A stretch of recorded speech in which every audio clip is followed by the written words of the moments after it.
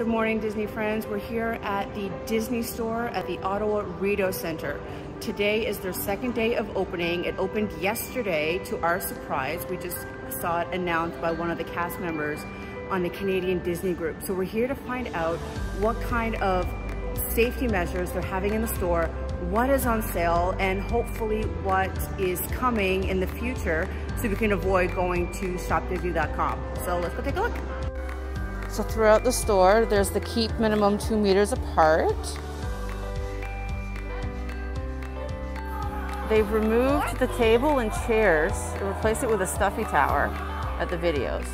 And they've definitely made the aisles a lot bigger to fit more people so we can stay far away from each other. We found the child in the center.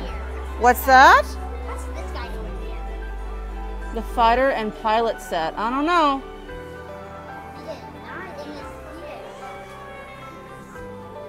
A sticker. I think I like the cartoon version. What's that? That's a tree ornament.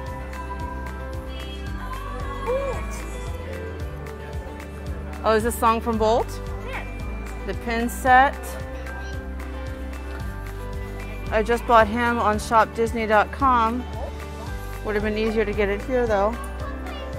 The child sweater.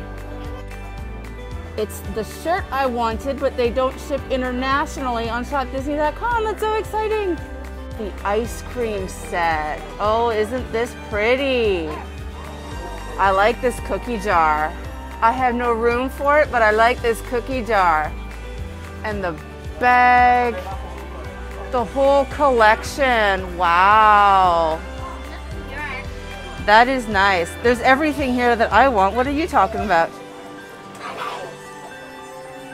And they have the Onward collection. Remember, this movie came out while we were in lockdown. What is this? The Killer Unicorns. The Killer Unicorns. And what is that dragon thing? It's it's their pet. Oh, yeah, yeah, yeah. It's the dog pet thing. It's not a dog. It's definitely not a dog. No? Okay. Oh, we got a mug. We got, what's her name? The Manticore. We got, and Dad. Well, half dad. Uh, yeah, half Dad. And we got Dad's sweater. What's this? Stuffies. Yeah, but I did a lot of Mommy, From Ian and Barley. It's been a while. I Can't remember their names right now. Guinevere. We know Guinevere. And what is this? A mystery unicorn collection. And with any purchase, you get that amazing bag. I definitely think I'm gonna get that. I know it's $16, but it zips and I want it. So that was our adventure at the Disney store. We didn't see much new. There was the Onward collection that we saw. The main attraction collection didn't change from March when we were there last, but that's not a big deal. They have already said that they're gonna pause that until we know more. So that was our day at Shop Disney. See you soon.